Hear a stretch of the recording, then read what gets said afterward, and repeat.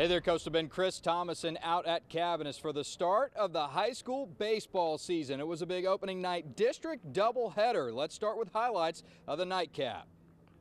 It was 10th ranked Gregory Portland coming to town to take on the Moody Trojans, two teams that are both expecting to compete for playoff spots. Here, top of the first inning, Wildcats threatening with the bases loaded. Braden Telemontes going to sky one to center. That's going to be deep enough to score the first run of the game on the sac fly. GP goes up 1 nothing. Now, that was the only run they got in the inning, but now it's Moody's turn to threaten in the bottom half of the first.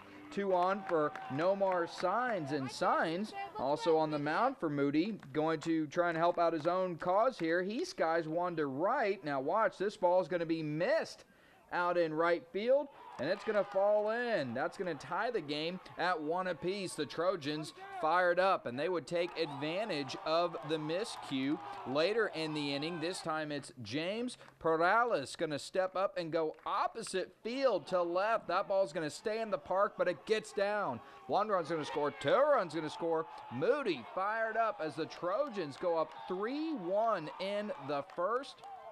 But Malachi Lott would settle down on the mound for GP. The Wildcats would rally with a big third inning. Let's take a look at the score in this one.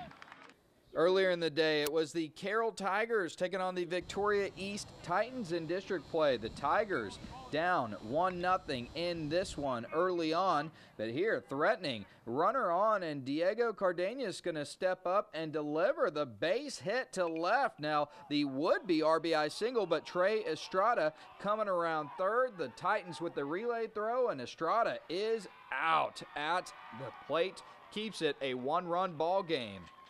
Then in the next half inning, the Titans adding to their lead.